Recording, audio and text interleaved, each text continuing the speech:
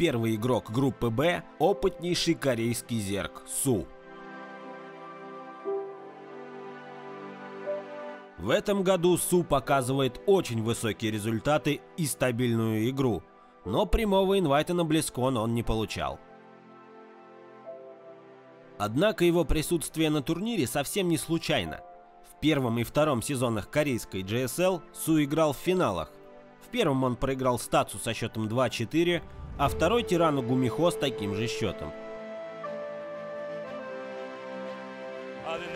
But meanwhile, this attack is coming in over here on an essentially naked Terran base. Nothing to defend. So many of the workers are going to get massacred.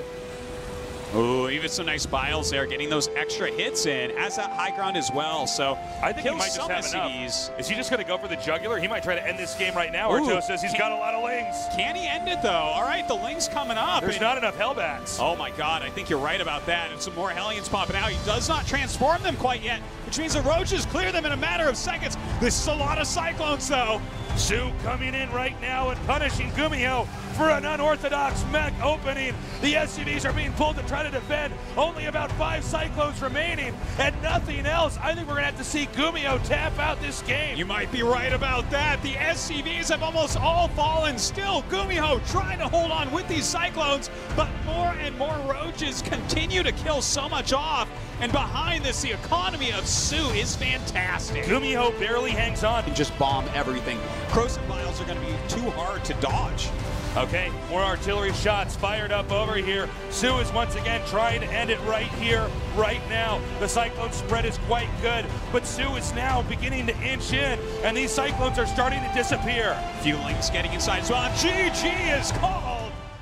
Эти два финала позволили набрать огромное количество очков в ВЦС. А вот третий сезон GSL у Су вышел неудачным. Он не смог выйти из второй групповой стадии.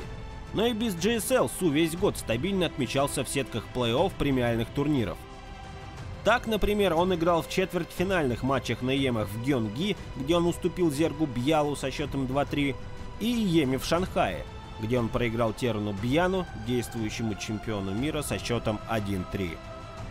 Су также играл в полуфиналах индивидуалки GSL против Мира, где уступил TY 1-3, и во втором сезоне GSL Super Tournament, проиграв Дарку 1-3.